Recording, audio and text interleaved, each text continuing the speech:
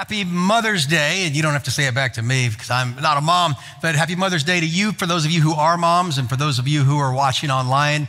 My mom might even be watching online this morning. If so, happy Mother's Day, Mom. I love you. And if you have not had a chance to tell your mom you love her or call her if you have a mom who's still here on, on this earth and you're able to, I strongly encourage you to do that. My mom's in California, so I haven't called her yet. There's a time difference. But this afternoon we will talk and I will tell her. We are going to be continuing our series on 1 Corinthians 13, 4 through 8, talking about love intentionally. And we have been working through very carefully some descriptions of love. And I hope you've been following along, and I hope that you have been learning or allowing God to teach you to be a little more loving, to love intentionally. We'll read 1 Corinthians 13 again together and go over it as we pick up in the sixth or seventh week of our series. I'm not 100% sure where we are. I'm having so much fun. We're just going to keep going until we get done. But let's look at 1 Corinthians 13, 4 through 8 together. Love is patient. How patient are you today? On a scale of one to 10, how is your patience? Um, it varies, doesn't it? Day to day, minute to minute, week to week, circumstance to circumstance. We spent a whole week talking about patience, macrothumia, being patient with people, the difficult people, the easy people, the people you know, the people you don't know. Love is kind. We spent a whole other week talking about being kind. It doesn't envy, it doesn't boast, it's not puffed up or proud, it doesn't dishonor others. That means it's not rude. That was last week. It's not self seeking. That's this week. It's not preoccupied with serving itself. Um, it's not easily angered, it keeps no record of wrongs. Love does not delight in evil, but rejoices in the truth. Always protects, always trusts, always hopes, always perseveres love never fails. Three types of love. There is the romantic sort of love, the erotic kind of love mentioned in the New Testament. There is the brotherly love between friends mentioned in the New Testament. And then there's agape love, this kind of love, that is the kind of love that's not based on emotion, not based on circumstance, it's not based on feeling. It is described, not defined, in 1 Corinthians 13, 4 through 8. Now, I've thought a lot about how to best teach this passage to you. And what I decided was that since this concept is very, very connected to some of the other concepts we've talked about, that I want to talk to you today a little bit about the context, the history behind the book that Paul wrote, or the letter that Paul wrote, that we call First Corinthians so that you can understand what the context is or the meaning behind why he wrote what he wrote. Because sometimes it's a little hard to understand. If you read 1 Corinthians 13, then you can get some application fairly easily. If you read the entire book of 1 Corinthians, it's a little more challenging because there's some things that, well, they beg understanding. So, understanding is what I'm going to try to help you with today so that when you read 1 Corinthians, you'll understand both the city of Corinth and also this early church, this new church in Corinth, in a way that helps you read scripture in an informed way and apply it to your life correctly. To where when we talk about love is not self seeking, what is it you need or what can you concede? You'll have some understanding that can change your life. Corinth was a bustling city at the time of Paul's life. He arrived there on his second missionary journey after having traveled through about four other relatively significant places. He planted a church there in Corinth. Corinth was a Greek city located about 45 miles from Athens across an isthmus or a peninsula. But if you know your history, you know that the Roman Empire began from a city called Rome that became a city state, that with some aggressive generals, some military leaders, became an empire, and eventually, for about a thousand years, was one of the most prolific empires, at least we have in history. Many, many movies, books, even Shakespeare's plays are written about the Roman Empire. So, in about 146 BC, Corinth was destroyed. And then, about 100 years later, a Roman emperor came along and rebuilt it and sort of annexed it into a Roman territory and um, governed by Rome, but the culture was all Greek. Now, Corinth was located at a very strategic place. As a matter of fact, it was located again on an isthmus in between southern Greece and northern Greece. And there was a trade route that was um, so important that if you wanted to travel goods and services from one part of the world to the other, you had to go, well, either around the southern tip of, or, of Greece or across the isthmus. Now, sea captains would tell their crews if you're going to get on this ship and we're going to go around the southern tip, around the, the Cape, the Horn of southern Greece, then you need to have your will ready because there's an 80% chance you're going to die. And so, what they did was instead of continuing to travel the dangerous waters around the southern part of Greece, they devised a plan. And I'll show you a map right now where you can see where Corinth is located and you can see the little isthmus, the little four mile isthmus across. They devised a plan where it was easier and safer to take these huge ships and to roll them across the four miles. Now, you see Corinth down on the bottom left hand side there of the isthmus, and you see Athens. Athens is over to the right. There's a little um, indicator that says to Athens, about 45 miles. For us, is an easy drive. For them, it was several days worth of walking. Two of the most important cities back in the Apostle Paul's day when he wrote the book or the letter to the Corinthians, but they would roll their ships across the four mile isthmus and um, stop in Corinth or near Corinth, and they would resupply and they would party. Now, Corinth was known as sort of the Las Vegas of the ancient world. They had a Greco Roman society. Greek culture had won out, although Roman government was prevalent. It was made up of Roman officials, ex soldiers, freed slaves, a handful of Jews, enough to have a synagogue, but very, you know, nobody really knows how many were there. And then people from all over the world, because as people would come through on these boats, and there were people that were traders, there were people that were pirates, there were people that were thieves, people that were storytellers teachers, preachers, all kinds of different religions and magic would come through Corinth. Some would stay, they would hang out, they would live. They had districts in Corinth that were kind of like the court district downtown, only 20 times worse.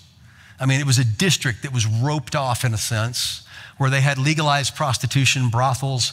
I mean, they had bars everywhere. It was rowdy, it was raucous, it was tolerated, it was part of society.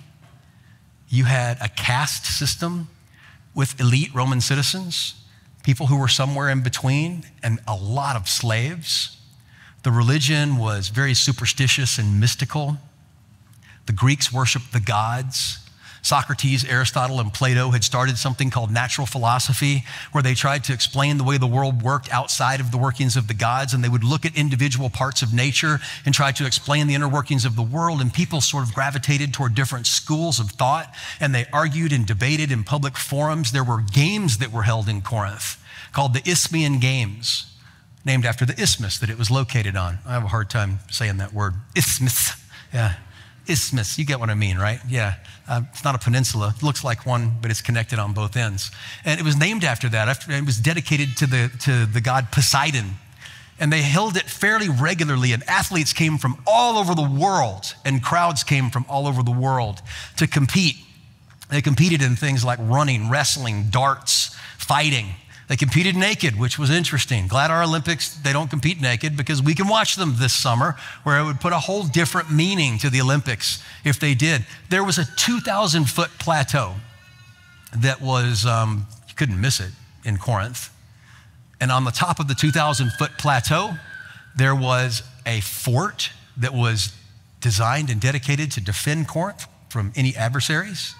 And there was a temple for the goddess Aphrodite. Now, there were temples for every god located in Corinth. You could find, if you had a god, they had a temple, you could find a way to worship. There was a healing god there, and people would come from all over with their wounded or sick people, and they would camp outside the healing temple until they found healing. And of course, many times it, it didn't work. But when, when the Apostle Paul showed up, you know, on, on the scene, worship and religion was just, I mean, it was just a mess. And up here on the top of the temple, in, in the temple, of the goddess of fertility, there were a thousand prostitutes who were employed. And people were used to walking up the temple to visit the prostitutes, and they called it church or worship. And do you know that many historians talk about how the prostitutes didn't even stay up on the hill? That many times they came down into the cities to solicit business. Can you imagine how hard it would be to be moral, to be a Christian, to be a man of God when they're knocking on your door? I mean, this was a place where I mean, a marketplace of ideas doesn't even begin to describe it. Culture clashes. Romans, Greeks, theater, debate, schools of philosophy, districts of debauchery, legalized prostitution, a handful of Jews trying to live, I guess, as best they could in a Jewish way. Can you imagine how they must have stood out? Then the Apostle Paul shows up on the scene, tries to find Jews. There were enough to have a synagogue. That's what he did when he started a church. And he began to share the news, the truth of Jesus Christ, the Messiah. And a church took root a church took root in a city that was so corrupt, and it was a big city. Some say by the time of the Apostle Paul, maybe 200,000 people, maybe more. So corrupt that it became sort of a, a, a slogan. People would say, You're living like a Corinthian. I mean, it was a difficult place. In many ways, it sounds like the culture we live in today. But this little baby church began to pop up and it began to grow and it was like a spark that you want to, take care of because at any point it could go out and so the apostle paul he would just just gently on this little church and blow and the church began to turn into a flame. But everything threatens the church. The culture around it threatened the church. The sin within the people who had become christians threatened the church. And they were all brand new coming out of a way of life where morality, well, it wasn't even really a thing in the way that we understand it right now. Where virtue and vice were the opposite of what Jesus taught in the Sermon on the Mount. Where it could not be any more difficult in any context you could imagine to be a Christian unless you fast forwarded a couple hundred years to the time when people, not a couple hundred, but years until the time when people's lives were being taken for calling on the name of Christ. So the Apostle Paul writes a letter to this little church after he leaves. Now, the church is founded in about 51 AD.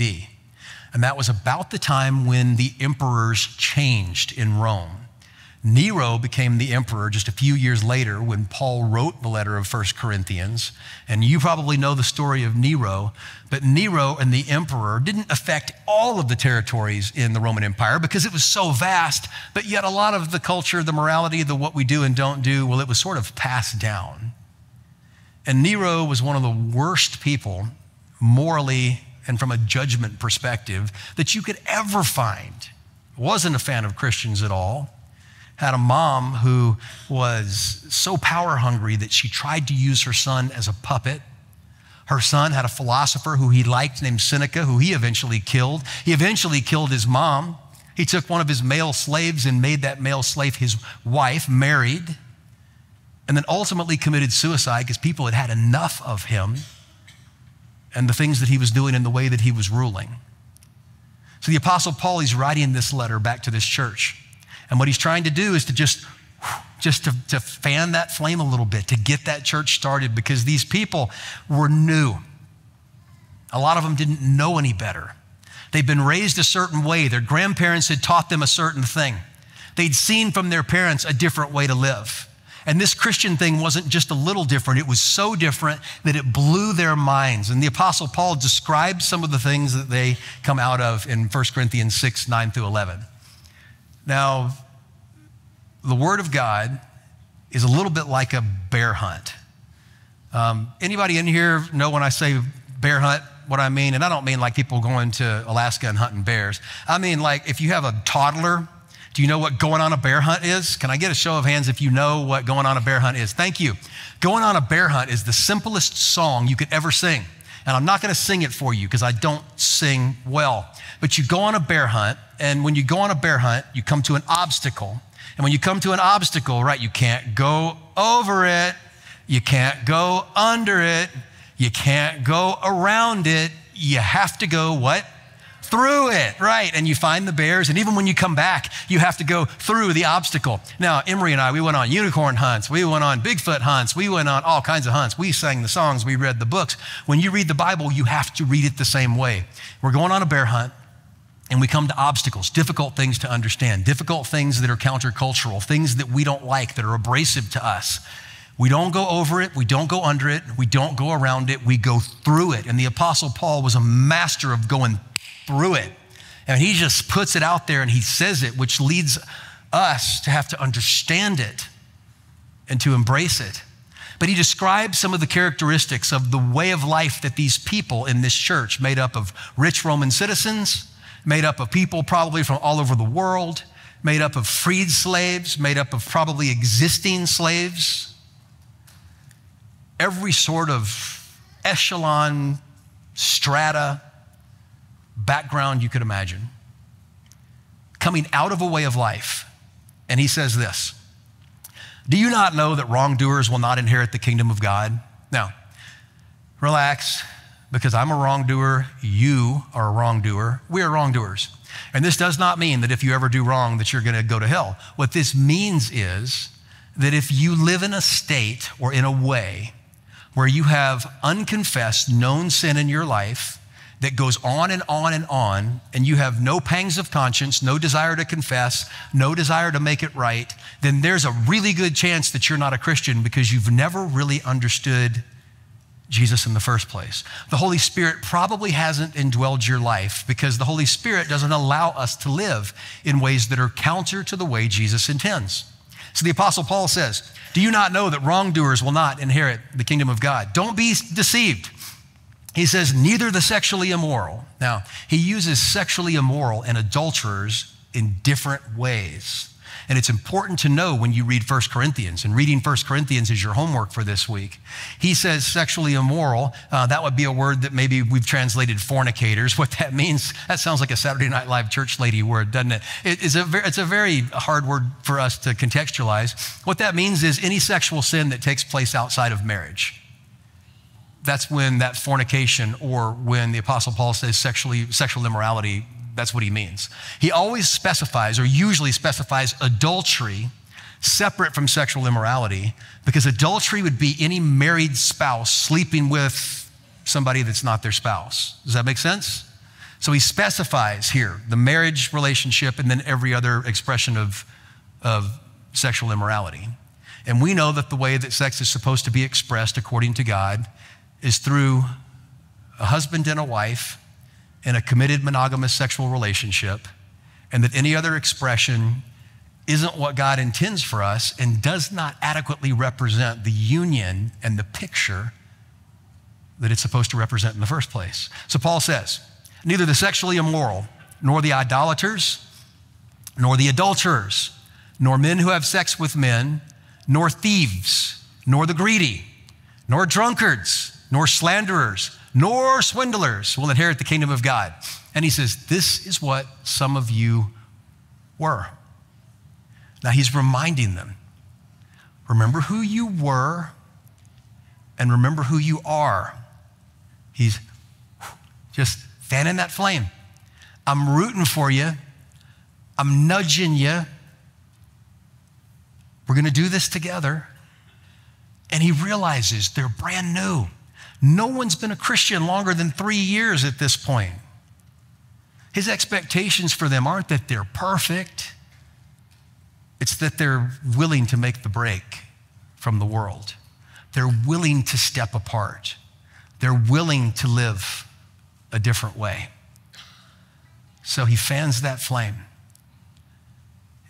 In the middle of a God insulting, Jesus hating, morally corrupt marketplace of the most diverse and bizarre ideas that you could ever imagine. But yet, this little church, even though they're full of trouble, still continued to grow. And we're going to talk about that in just a few minutes. We're going to continue on our bear hunt. And I got to tell you, the more I study about this little church, um, that um, the Apostle Paul wrote this letter to, the more I love it. And I think one of the reasons is, is that I started a church in an area that's a lot like Corinth. It is different in some ways, but in some ways so similar that it's almost scary. Uh, that was on the West Coast. And then I actually helped start a church, a church that I pastored. We started a church in, on Simon, Simon Fraser University in British Columbia. And the reason that we helped start that church was because students from all over the world came and studied at Simon Fraser. And when they did, they would study and get their degrees, and then they would go back to the countries they came from and, uh, and practice whatever trade or whatever profession they learned. And for me, it was the most strategic thing we could do to try to influence an area that would eventually influence the world um, for Christ. And that's exactly what the Apostle Paul was doing. He was influencing a, a city that wasn't little, a couple hundred thousand people probably, but with travelers coming through from all over the globe. And as the church began to take root, as it began to grow and the gospel began to spread, people were catching it and they were taking it with them to places. And, and Christianity began to spread where it eventually changed all of the known world. Now, the Apostle Paul, as I mentioned, is his fifth stop on his second missionary journey. Stopped in Athens and then made his way over to Corinth. And as he stopped there and started this church and spent a few years there, he left his church with a man named Apollos. After he left, just a few years after that, word came to him that there were problems in the church, there was trouble. And the trouble that was in the church, there are 10 things that the church was going through. Um, those, these are the reasons that this letter was written. Now, your homework for the week is to read 1 Corinthians.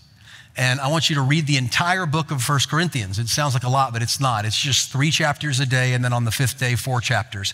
Or if you want to spread it out, you can go seven days and you can break it down. And I want you to read it in light of the 10 things that I'm telling you, because as you go through, there are going to be some very difficult things to understand. And I want to help you go through it and understand it, and not just understand it, but apply it and love it. And so I want to talk to you about the 10 things that Paul was writing about and the 10 issues that this church was facing. And remember, we're for this church, this little spark that we are fanning into a flame that the Apostle Paul wants to grow. We're remembering that these are brand new Christians that have come from all sorts of backgrounds that are just, they, they aren't experienced. They don't know. They're not dumb people. They just are uninformed. So we're rooting for them. We're not criticizing them. And we're seeing ourselves in them.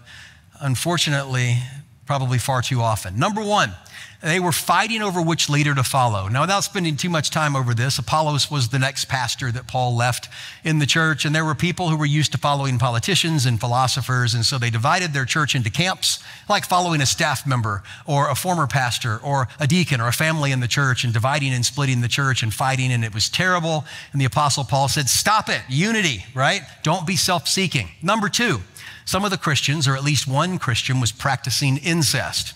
Now, this takes a little bit more explanation to, um, because it's, it's very shocking when you hear this. Again, the Word of God, it can be hard to read and to understand, but we're going to go right through it. There was a man in the church at Corinth who had fallen in love with his father's wife, his stepmom. And the language teaches us three things in this particular excerpt that you can read on your own, and I hope you do this week.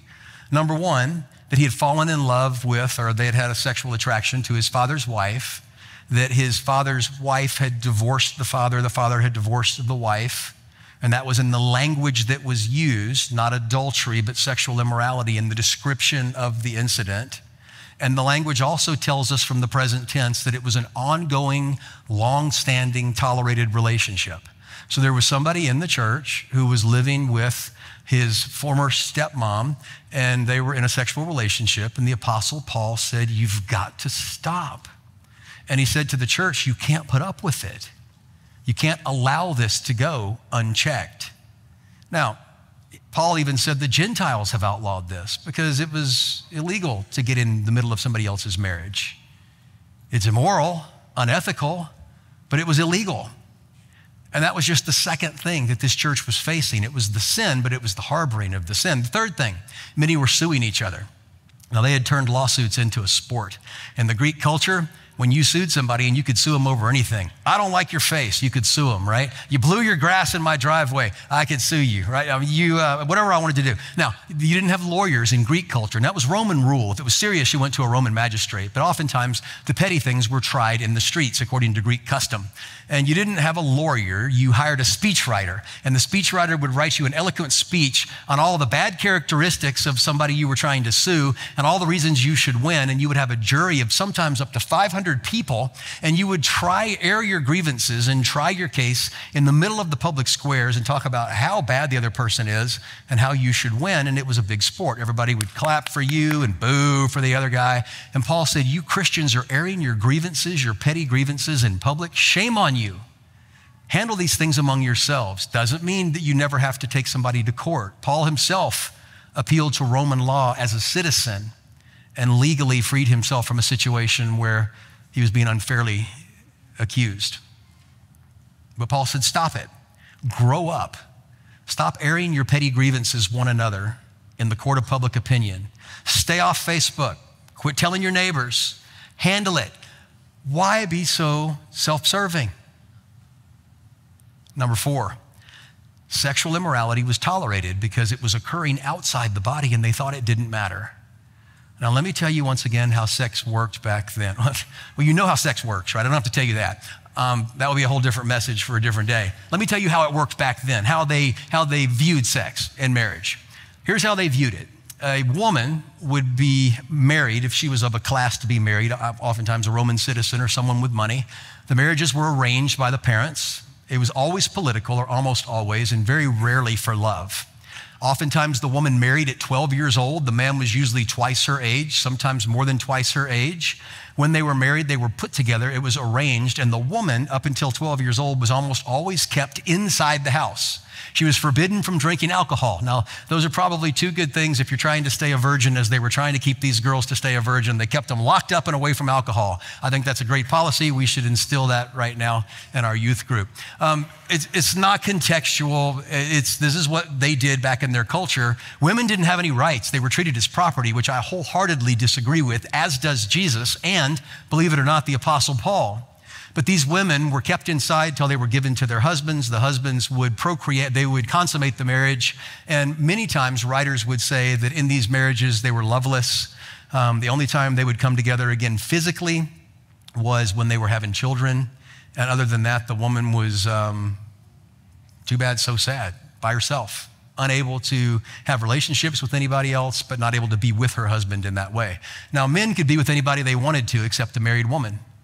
They could be with a girlfriend. They could have, you know, a, a special friend. They could have slaves. Slaves in Paul's in, in this culture, first century culture, had no rights over their bodies, and so if you owned a slave, you could force them, male or female, to have relations with you anytime you wanted to. And the Greeks believed that sex was outside the body, that it didn't matter. It was just an urge and could be satisfied however you wanted it to be satisfied.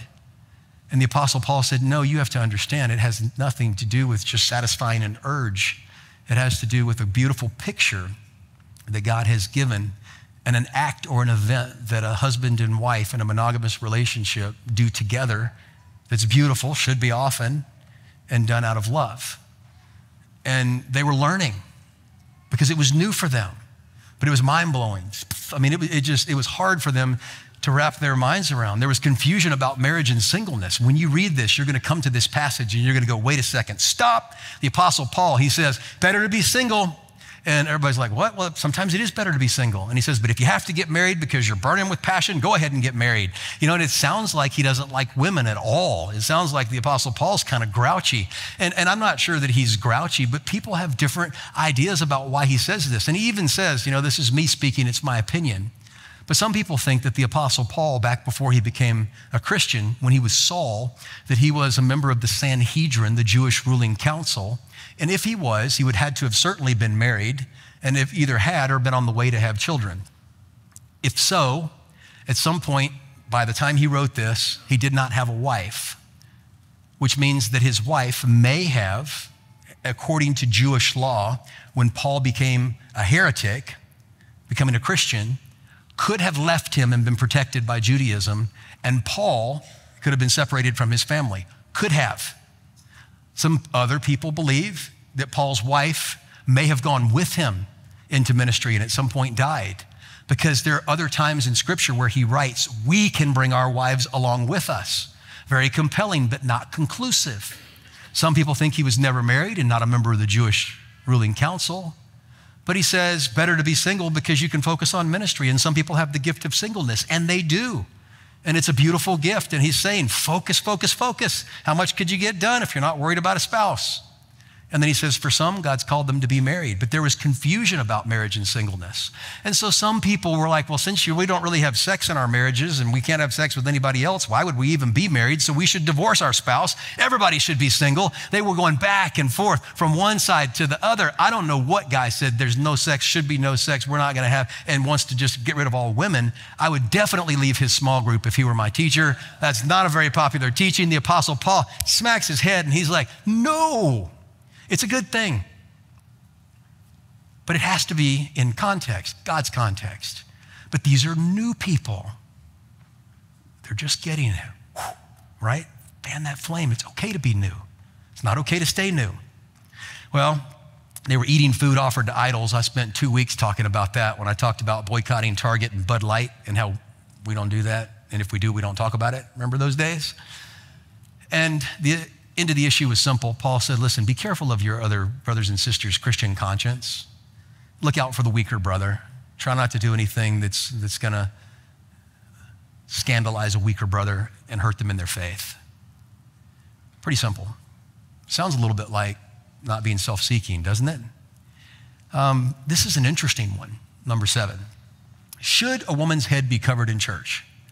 And um, I have seen this couple of times. Have you ever seen this? You ever been in a church where women cover their heads? You ever been in a church? Okay, no big deal if they do, right?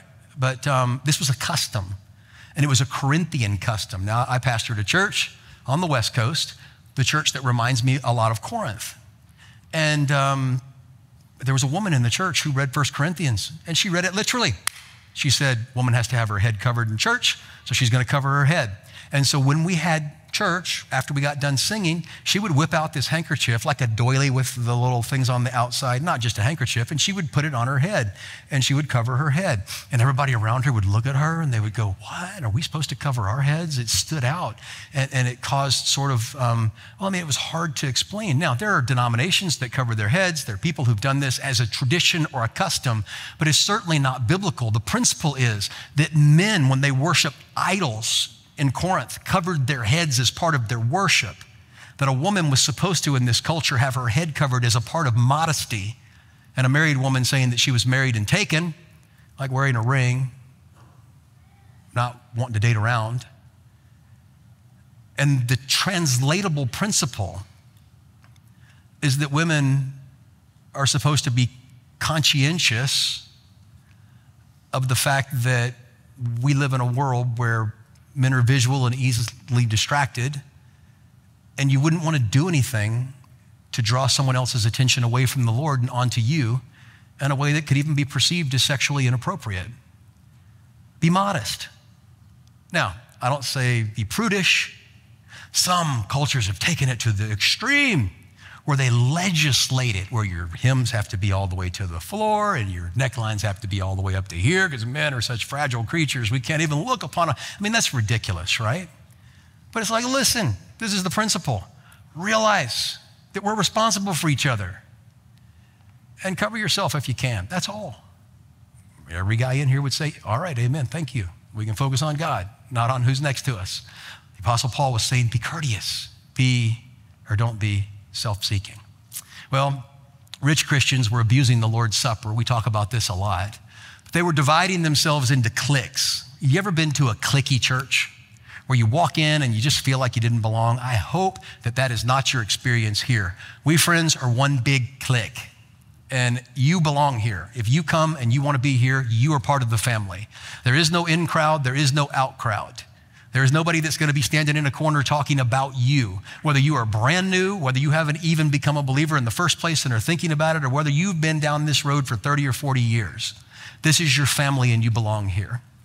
But in this church, they were already dividing themselves up according to socioeconomic status, according to families and friendships, according to their backgrounds, perhaps. and they were having parties. They were making the Lord's Supper a party. They were making church services or small groups, cliquish, excluding other people, new people or people who weren't like them. And the Apostle Paul had to write about it. Because my goodness, the world is bad enough, isn't it? In excluding, compartmentalizing, labeling, judging. There is no place for that in the church. So Paul covers it. Well, some people were prioritizing some spiritual gifts over another. They were talking about how their gift is better. I can teach better than you. I can prophesy better than you. They were praying in tongues over the top of each other. It was causing chaos. And Paul said, Listen, we got to be decent and we have to be orderly. Quit competing with each other. Nobody wins unless we all win. And then finally, there is a theological controversy, which is probably one of the more minor controversies within the body, but important ultimately for our theology. And that is that they were worried that when they died, that their souls may go to heaven, but their bodies wouldn't. So the Apostle Paul writes about how the body, earthly body, tainted by sin.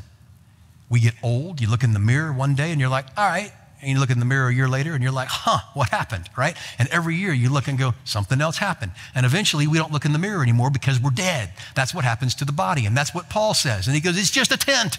And you leave your tent behind. But one day your tent's going to be restored and resurrected and it will be perfect and without sin. And, and he's telling them and they're going, I mean, their minds are just blown. But it's because they're new. And so Paul says, okay, 10 reasons why he wrote this letter.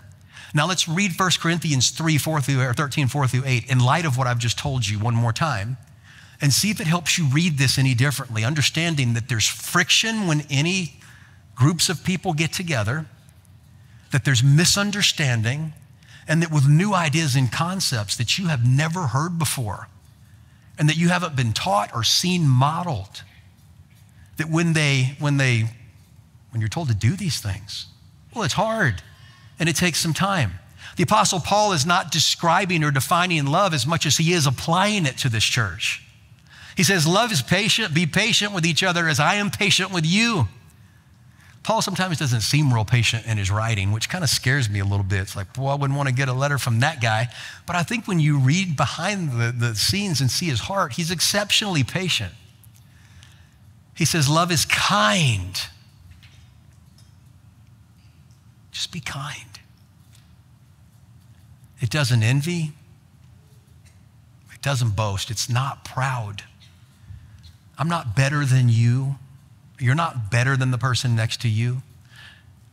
It doesn't matter what's in the bank account or what car you drove in and what neighborhood we live in or where we came from or how many degrees we have or what job you have or anything else. The ground is level at the foot of the cross. And that should make us humble. It doesn't dishonor others. It's not rude. It's not self seeking. It isn't easily angered. That's a good one. You guys are going to love that one when we get to that one next week. It keeps no record of wrongs. Love does not delight in evil, but it rejoices in the truth. It always protects, always trusts, always hopes, and always perseveres. Love never fails. And everybody in this little church is like, huh, this seems hard. And the Apostle Paul responds, my paraphrase, yeah, it's hard, but it's worth it. And do you know what? You and I started January 1, 2024, a journey together to be transformed so that this year, by the time we get to the end of the year, we look back and we are different people. And you and I might not have looked like this at all in January. But if you stay with me, and much more importantly than with me, if you stay with the word, and you keep allowing God to do the work in your life, you are going to look a lot like this. And that's what I want. Now, what do you need and what can you concede? I want to show you a picture. My little granddaughter, Emery. Love her. Two and a half. That's Emery right there. Um, you know, you have granddaughters, and so I'm not going to ask you to say that mine's the cutest one in the world. I know she is. I just I don't want you to. I, this picture has nothing to do with my illustration. I just wanted you to see little Emery sitting in the back of my truck, and uh, she's got a little flower necklace on. Now, Emery is selfish. She is. She's self seeking. She's two and a half. Self seeking. She is, especially when she eats. Um, I'll show you the next picture here. Uh, this is Emery. And, you know, Joy and I, again, we were responsible for a week of keeping her alive and all the things you have to do to keep little kids alive. And feeding them was one of them. And she didn't love the food that, we, that I gave her. I mean, she ate what I ate and uh, didn't eat the kind of stuff she wanted to eat. I gave her like chicken and, you know, lean pork and stuff. And so Emery, um, at mealtime, Emery walks around the table and eyeballs everybody's plate, everybody else. And her eyes are just like right above the table because she's two and a half. And she walks around and she looks at a plate. And if she sees something she wants, she does this, like that. And she expects you to put it in her hand. So I did. I gave her whatever she wanted. And she'd go to my wife and she would look at her plate and she would go, mm, like that. And Joy would give her what she wanted. And she would circle the table. And she was so self seeking and so selfish and didn't concede anything. She demanded everything. And that's okay because she's new. She's two and a half. You expect two and a half year olds to act like they're two and a half. But it's a problem if they're 15 and walking up to your plate and doing this, right? Love is not self seeking, it's not all about the self. So this week, I want you to read 1 Corinthians. And I want you to read the whole book. It will not take you that long. And you are going to come to some sections that are going to make you go, huh. And I want you to read it with the 10 issues in mind that I've explained to you that chronologically will take you through the book and the context of the city of Corinth, controlled by the Roman Empire, with all of the different things that were going on. And then think about this 1 Corinthians 13, 4 through 8, and see if its meaning changes in your heart and in your mind just a little bit. This week, let's practice a love that is not self seeking. Father, thank you so much for my friends who are here. It just occurs to me, Father, that so many are new. And I love that. I'm grateful for that, Father. So many brand new Christians, so many listening online, so many maybe having returned to a faith after having left for whatever reason, maybe years ago. And as we are new, Father, we appreciate the space and the time to listen, to soak it in, and to learn. For those of us who aren't new, we confess to you the ways we fail you and how unloving we can be, how self serving we can be, conceding nothing to the people around us